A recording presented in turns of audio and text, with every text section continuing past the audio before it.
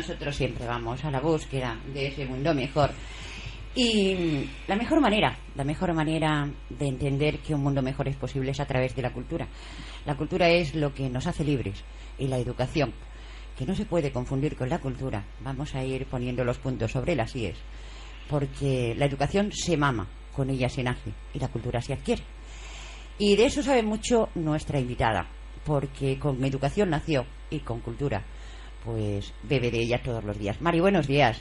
Muy buenos días. Un placer tenerte aquí, de verdad que sí. Mm.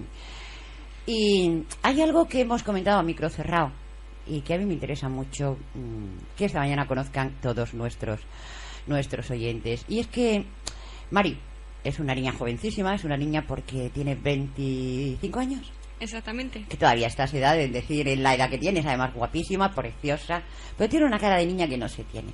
Y claro, al verla tan jovencita, lo primero que le he preguntado, María, ¿qué te dedicas? María, ¿a qué te dedicas? Trabajo en un invernadero y escribo libros. Mari trabaja en un invernadero, es decir, es agricultora, como la gran mayoría de los almerienses, de lo que se siente orgullosa. Pero me llama la atención el que me comente que en más de una ocasión le han preguntado, ¿cómo tú, siendo agricultora, como tú, trabajando en un invernadero, escribes libros? ¿Qué les dices tú a esas personas, Mari?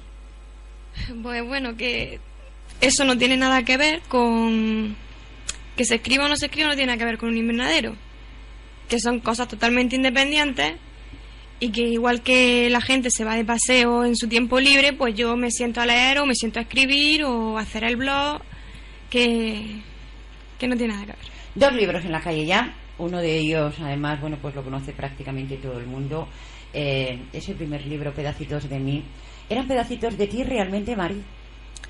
Se puede decir que sí, porque son momentos en los que o bien he estado muy contenta o he estado enfadada o han sido momentos de extrema yo qué sé, extrema sentimiento ahí de, necesidad porque escribir un, un escritor que se precie yo creo que escribe por necesidad por necesidad del alma, no por necesidad económica, porque económicamente la verdad es que los artistas hoy lo tienen complicado pero tú escribes por necesidad, me has dicho cuando estoy muy contenta, cuando estoy triste, eso lo reflejas en, tus poesías. Y sí, bueno, yo escribo para expresar lo que siento en cada momento y contar mil historias que se me ocurren. ¿Crees que esas historias pueden ayudar a, aquellos que te leen? Depende, si es una historia parecida a la que estoy escribiendo ahora, posiblemente. Pero si es igual a un relato corto que hice, Dudo mucho porque hay algunas personas que entraron en depresión. Vamos a hablar de ese trabajo que tienes en la calle ya, que hace tan solo un par de semanitas que podemos encontrar en las librerías y que se llama traición. La palabra traición es una palabra importante que hace daño solo leerla mal. bueno, pues es la primera parte de lo que pienso hacer como una trilogía. La primera parte se llama Traición, un viaje inesperado y es como la introducción a la vida de los personajes principales y un poco su entorno. La principal se llama Abril y es una huérfana que está buscando su lugar en el mundo. Su lugar en el mundo. Yo soy de los que piensan que los libros no se cuentan, se leen, siempre lo he dicho y lo voy a repetir. Eh, pero claro, ¿qué tiene esta historia de especial para que nos enganche, Mar? Mm, bueno, pues yo creo que es la fase de superación de cada uno de los obstáculos y la búsqueda de su camino para encontrar el destino final. Ahora se habla mucho de libros de autoayuda y yo estoy en contra de esos libros de autoayuda porque pienso que si hay alguien que se puede ayudar a uno mismo es eso, uno mismo, ¿no? Pero tú me estás diciendo la búsqueda del camino. Con 25 años se tiene claro lo que se quiere ser en la vida. Yo lo tengo claro desde que tengo uso de razón lo que quiero pero claro, normalmente no se suele tener muy claro lo que cada uno quiere hacer ni lo que la vida hacer. Lo que la vida te va, te va a ir deparando, pero lo importante es saber eh, dirigir los pasos. Exactamente. Ir cumpliendo las metas y tú ya dos metas por lo menos las has cumplido. Los libros en la calle.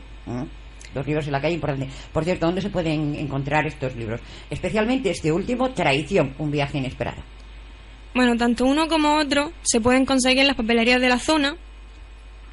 En Amazon se puede conseguir en las diferentes plataformas digitales como libro electrónico, como FNAC o... En Amazon también lo pueden conseguir en, en libro digital. Eh, sí, pero en las librerías de Almería, por ejemplo, ¿dónde? En Picasso, Picasso. en Papelería Melo. En- en- Algunas más, ¿no? Que, ah, porque hay que recordarle a todos nuestros oyentes que Mari, Mari eh, es también autoeditora, como la gran mayoría de los autores que pasan por, los estudios de la Milla Radio Mar. Mm. Y autoeditar un libro cuesta dinero, cuesta sacrificio, pero sobre todo distribuirlo después. ¿Es lo más complicado, Mari? Es lo que más tiempo lleva, lo que más cansa. Y claro, tienes que ir poco a poco llegando a los diferentes puntos de venta. Eh, pero lo tienes que hacer tú, que no hay nadie que te ayude. Exactamente. Lo tienes que hacer tú, además de trabajar en el invernadero, para que luego digan que cómo se pueden hacer dos cosas a la vez, y tres, y cuatro, siempre que hay ilusión de por medio. Decía yo antes que, Mari, con esa imaginación que Dios, porque talento e imaginación tienen que ir de la mano para escribir, Mari, o solo sentimiento. Yo creo que tiene que estar todo en su justa medida. Si tienes talento y no tienes imaginación, se- ahí tiene que faltar algo. Entonces, tiene que ir todo en un equilibrio para que se pueda... ¿Y cómo se aprende a escribir?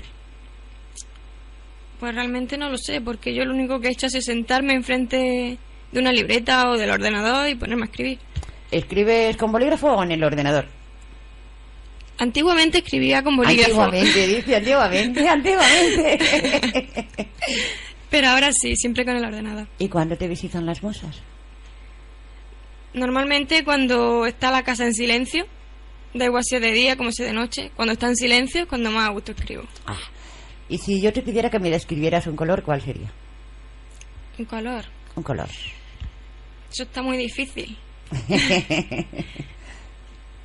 No, pues no sé. Si le, podemos, si le ponemos colores a tus libros, ¿qué colores les pondríamos? El primero es azul. El segundo sería grisáceo, negro y varios tonos, porque es que tiene muchos tonos.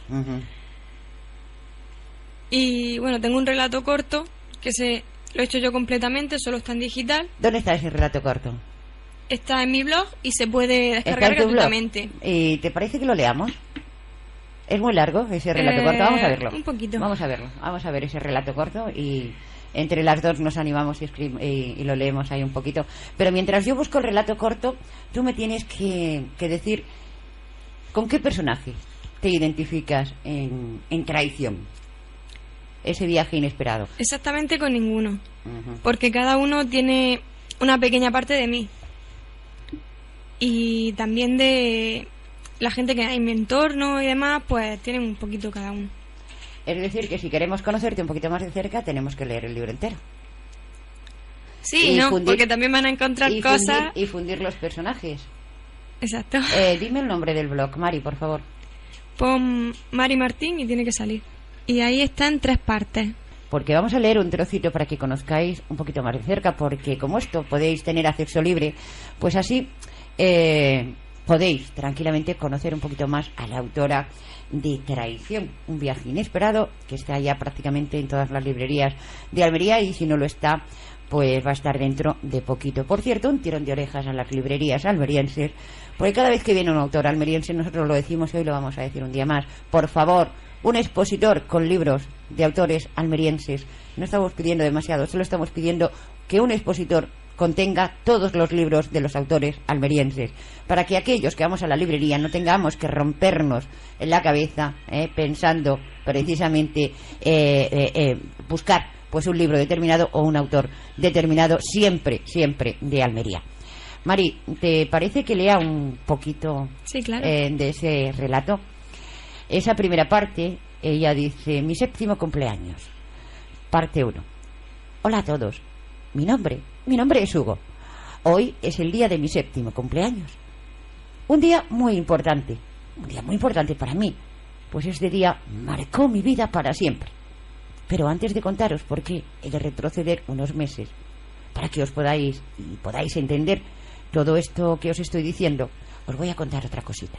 El día amanecía soleado y quería jugar, pero no sabía cómo decírselo a mi madre. Me dijo que no me ensuciara, que teníamos que ir al médico. ¿Puedo jugar un rato? Dije tímidamente. Al escucharme su rostro cambió Me miró seria, como si hubiese roto algo, algo muy valioso. Me apresuré para, para pedirle perdón, pero ella seguía mirando sin decir nada. Después de esperar unas palabras que nunca llegaron, pues me terminé rindiendo. Hugo, vamos, es la hora, me dijo mamá, mientras se colgaba el bolso y colocaba las llaves en la puerta. Por favor, mamá, necesito unos minutos. No encuentro el libro que estoy leyendo. Mamá, mamá me ayudó y juntos buscamos el libro de Ferblo, el chico misterioso. Cuando lo encontramos, nos fuimos al hospital. Mami, ¿crees que ese doctor me podrá curar? Claro que te va a curar, no te preocupes. Con muchísima ilusión. Empezamos a cantar y el viaje fue muy divertido.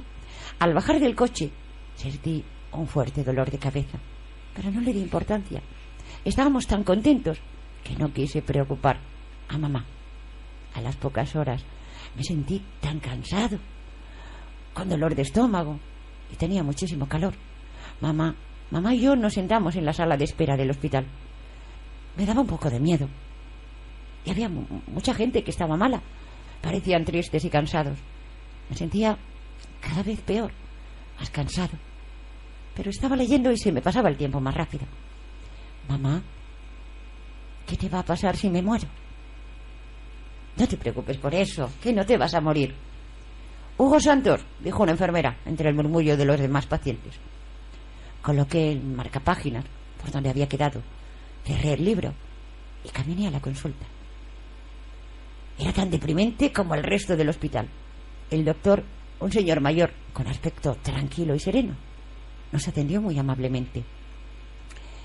Señora Santos, las pruebas realizadas nos indican que... Pues esa es la primera parte y hasta ahí vamos a leer. Hasta ahí vamos a leer para que la gente visite tu blog. Interesante, interesante, sobre todo ese diálogo interior que tiene, que tiene Hugo. Veo que te preocupan mucho, mucho los niños.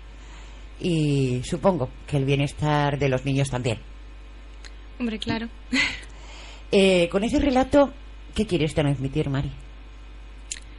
Hay un poco de varias cosas, como desde el bullying escolar hasta que la gente piensa que un niño no, no puede llegar a preocuparse por diferentes temas, que son inconscientes acerca de eso. Vamos, que son niños y tontos. Exacto. Y yo ese relato pues lo hice un poco enfocado a eso, que es el que comenté anteriormente, que la gente decía que habían entrado en depresión, sobre todo la madre de un niño que se llama Hugo. Que yo no esperaba que me fuese a salir precisamente la madre de un niño así. Bueno, pues resulta que cuando uno transmite, pues llega, Mari. Eso se llama llegar y llegar es importante. Insisto, ese, esa parte del relato que acabamos de leer la podéis encontrar en el blog. Repite el nombre del blog, Mari noney.sagrao.blogspot.com.es. Esa es la dirección. Complicadísimo. Buscar Mari Martín con Noney y sale. Estos niños que no, que oye, que piensan que si se les pone... Oye, ¿tú también eres de los que piensan que el inglés es más importante que el español o qué? No, realmente no es no es ni inglés, ni en español, ni pues en Es un nick que yo tenía en internet para jugar a los videojuegos. Vamos a ir poniéndole remedio, que tenemos un vocabulario riquísimo, que el idioma español es grandísimo y nos enteramos todos. Ahora mismo realmente lo que se llama es Mari Martín. Pero yo le voy a cambiar el nombre. Y estoy pensando en ponerle la puerta de los sueños. Bonito, bonito. Pero claro, eh, la dirección seguirá teniendo Noni Sagrado. Claro. Eh, Mari, ¿se puede soñar a cualquier edad? Yo creo que sí. ¿O los niños sueñan mejor que los mayores? Pues yo recuerdo que de niña soñaba igual que ahora. Oh, qué suerte, qué suerte, porque yo no puedo, yo no puedo. Ojalá, ojalá pudiera tener los mismos sueños que tenía de pequeña y, que fuera tan sencillo, pero complicado. Ahora, lo que sí es cierto es que no se puede dejar de soñar, ¿verdad? Exacto. Me decía Mari que ella, en sus presentaciones y en todas sus entrevistas eh, que le han hecho, que han sido muchas, eh, leía siempre un trocito de su libro. Eh, ¿Te apetece? Vale. Venga. Bueno, voy a leer un pedacito de Traición, un viaje inesperado. Y empieza así. No suelo pensar muy a menudo en aquel lazo de tiempo, a no ser que me encuentre paseando por la orilla del mar, en una cálida mañana de verano. En aquella época yo era una joven, inocente, llena de sueños, ilusiones y metas. Lo recuerdo como si todo aquello hubiese ocurrido ayer. Pero de ello ya hacen 50 años. En esas cálidas mañanas, cuando la mayoría de la población duerme, le permito al alba que sepa que aún sigo con fuerza, luchando día a día para continuar mi camino. Este relato empieza el día que me marché del orfanato, 18 años después del momento de mi nacimiento. Todo lo que necesitaba estaba en mi maleta. Saqué el chaquetón y me lo puse antes de salir al aire libre.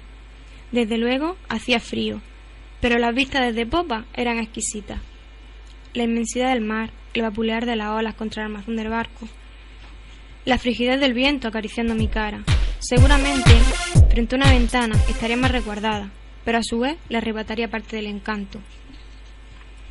A lo lejos se escuchaba la televisión de la sala. La gente emocionada cantaba las canciones del cuarto festival de Eurovisión. Todos estaban puestos con la esperanza en Conchita Bautista. ¡Todo a babor! ¡Arriba las velas! gritaba el capitán con una mezcla de angustia y desesperación. Descontrol, angustia, incertidumbre. Todo esto y mucho más se respiraba en el ambiente. Y hasta ahí podemos leer, hasta ahí podemos leer y hasta ahí podemos contar. Pues creo que hay mucho de sentimiento. ¿eh? Y una historia reciente de, de, España, como es el Festival de Eurovisión, que es verdad que en aquellos tiempos y en aquellos años estábamos todo el mundo pendiente del Festival de Eurovisión. Una demostración de cómo cambian los hábitos de un país. Exactamente. Bien. Por ahí van los tiros, ¿no? Sí y no.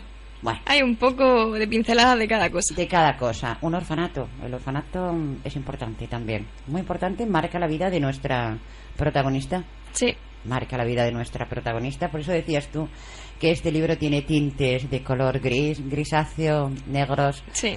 Pero es de presuponer que en algún momento brillarán, brillarán los colores del arco iris también, ¿no? Para nuestra protagonista, ¿o no? Sí. Bien, bien, bien, bien. ¿La esperanza es lo último que se pierde, Mari? Pues yo creo que sí, porque es que si pierdes la esperanza, ¿qué te queda? Bueno, vamos a hablar un poquito de ti. Nos has dicho que trabajas en un invernadero. Eh, ¿Tienes más hermanos? Tengo dos hermanos más. ¿Mayores o...? Menores que yo. Menores que tú, o sea que eres la, la mayor de la familia. Sí. Eso es una responsabilidad añadida, ¿eh? Eso es muy complicado. Ser la mayor de casa es complicadísimo. ¿Qué dicen tus padres cuando te ven escribir y cuando ven que tienes dos libros en, en las librerías, Mari? Bueno, al principio no creían que fuese a conseguirlo y después ya pues bueno pues dice pues sí pues tiene dos libros después, después tiene dos libros no pero es de suponer. Seguro que están escuchando esta entrevista no la están escuchando la escucharán después a través de internet. Eh, seguro seguro que están súper orgullosos de ti pues yo si yo tuviera una hija escritora que tuviera dos libros en el mercado yo me la comía a besos. O sea, como mínimo um, a besos. Y esos pellizquitos de los que yo hablo, pellizquitos que se dan en el alma, aunque lo hijo no lo creáis, nos los dais muy a menudo, muy a menudo. ¿Y tus hermanos qué dicen? Tengo una hermana escritora, está loca, seguro. Bueno, ellos presumen por todas partes y incluso le han llegado a decir a sus maestros, mándame este libro, ya me lo leí y no me lo toca leer. Divertidísimo, las cosas de los pequeños. ¿Qué edad eh, tienen tus hermanos? Mi hermano José tiene 18. Ajá, que no es tan niño ya, ¿no? Bueno. Ya crecidito. Ya para 20. Ah, crecidito, crecidito. Y mi hermano Fran tiene 10. Ah, y encima eres la única niña de la familia, Sí. la princesa de la casa. Por Dios, por Dios, por Dios. Y se queja. Y se queja la niña, vamos, y se queja. Eh, Mari, es de presuponer que, que tú lo que pretendes es vivir de la, de la literatura y sabes que es difícil. Hombre, como a cualquiera que le gusta escribir me encantaría. Pero yo realmente ahora mismo lo veo muy, muy difícil. En ello estás, ¿no? Exacto. En ello estás. Lo importante, por lo menos en estos momentos, es que no le pierdas dinero a lo que inviertes.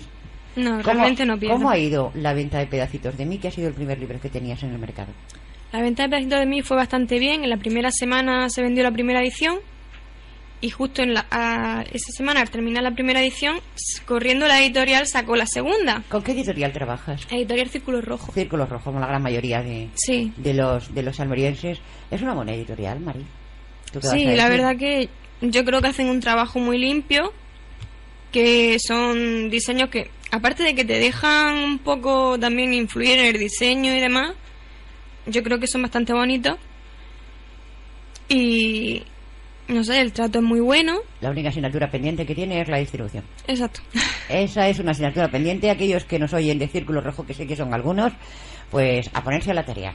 Que hay que ayudar eh, no solamente a que se conozca el libro, sino a la venta de ese libro, que es en definitiva lo que se, lo que se persigue. Me has dicho que estás escribiendo otro libro, ¿ya? La segunda parte de Traición. Que quieres hacer una trilogía, además. Exactamente.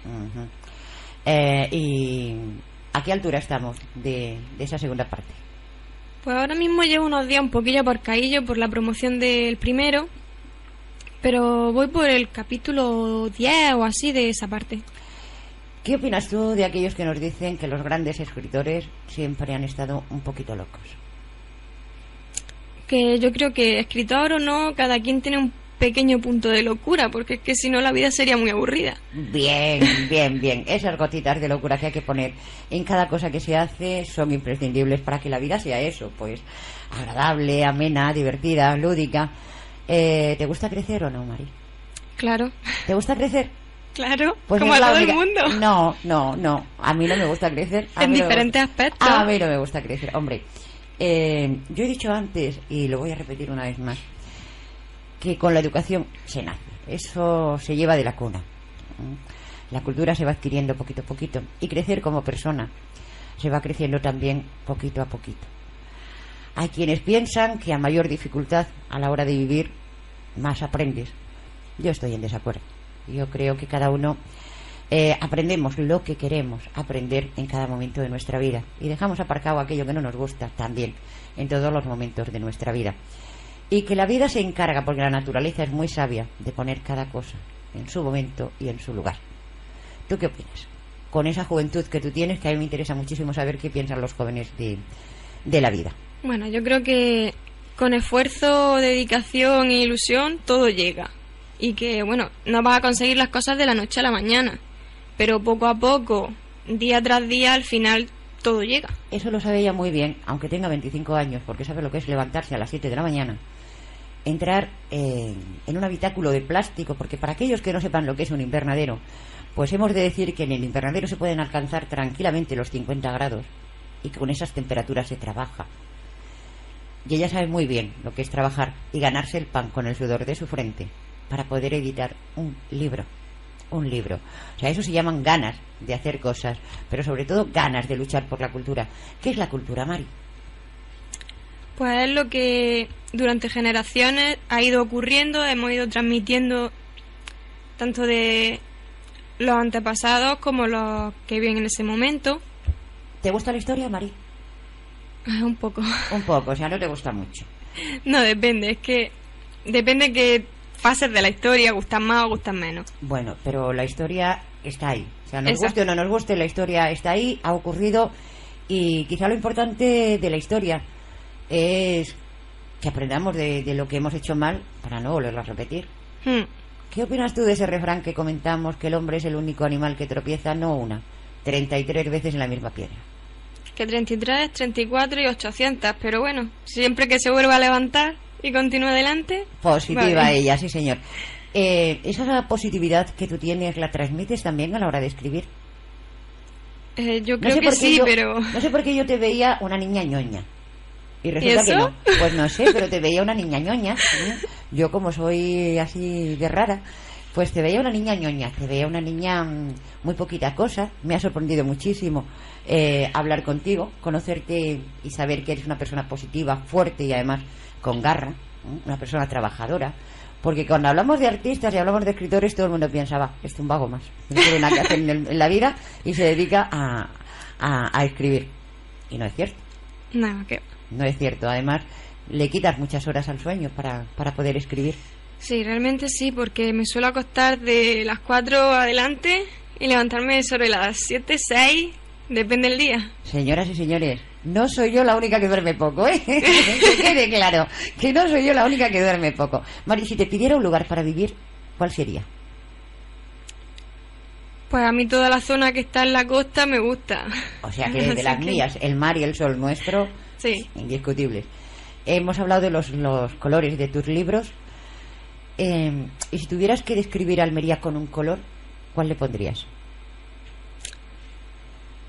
Pues yo creo que el azul. El azul. Yo el azul y el oro. El azul y el oro. También, El al atardecer. Ah, eso es. eh, somos la envidia del medio mundo, que lo sepas. Y, la ot- y del otro medio también. del otro medio también. Que vamos a terminar ya la entrevista. Y yo quiero que les digas a, a todos los que nos están escuchando, porque afortunadamente llegamos al mundo entero a través de Internet, por qué tienen que leer tu libro. Bueno, yo realmente no un porqué, simplemente que a la gente que le guste leer y quiera una historia, no sé si exactamente será igual a lo que hay en el mercado diferente, pero yo creo que es diferente porque tiene pincelada un poco de cada cosa. Cuando dices pinceladas de cada cosa, explícanos qué cada cosa. ¿Qué cada cosa es? Bueno, tiene un poco de eh, fase histórica porque tiene momentos reales de lo que ha ocurrido en años pasados. Tiene puntos de novela romántica, tiene puntos de novela de misterio, tiene, aunque no me gusta la policíaca, tiene algunas pinceladas también. Menudo cóctel, ¿no? Eh, Eso es un cóctel explosivo, hay que leer el libro. Hay que leer el libro. hasta ahora todo el que la ha leído, Vamos y si a- mira en la página del, del libro, en la página de Facebook, todo el que la ha leído dice que se queda muy intrigado y que están deseando leerse la siguiente. Pues claro, porque no hay final, ¿no? Eh, hombre, en este libro no, terminará en el tercero. O sea, que no hay final, señoras y señores. Niña, date prisa en esa trilogía porque no me puedes dejar tú a mí con esa... Con esa, vamos, que soy mayor y mi corazón no está para tantas emociones. Poco a poco. Poco a poco. es verdad. Tú llevas toda la razón del mundo. Poco a poco se anda camino. Y ojalá el camino que tú te encuentres, si tiene algo, que tengas chinitas y no piedras que te impidan seguir avanzando. Un placer haberte conocido. De verdad que me lleva una sorpresa contigo. Repito, yo pensaba que eras una niña ñoña y me ha sorprendido muy, muy, muy gratamente. Es importante que nuestros oyentes eh, aprendan la importancia que tiene un escritor almeriense para sacar su trabajo adelante, lo que lucha, lo que lucha y el talentazo inmenso que hay en esta tierra. Gracias Mari por estar aquí esta mañana y mostrarme pedacitos de ti y esa historia nueva que ya me tiene intrigada, o sea, yo tengo que leerla. eh, Además, aviso a los lectores, se lee en un ratito, es muy amena, es un libro cortito, pero mm, con, con contenido. Gracias a vosotros por invitarme. en absoluto, además no será la última vez que estés por aquí porque el segundo libro tiene que estar en la calle prontito. ¿Para cuándo prevés que esté? Uf, yo creo que para el año que viene. Para el año que viene, no queda tanto, queda medio año nada más. Pues un placer, lo dicho. Muchísimas gracias por haber venido y esta es tu casa. Cuando quieras, los micrófonos de la Mía Radio Mar siempre van a estar abiertos para ti. Gracias. gracias otra vez. Gracias. gracias otra vez.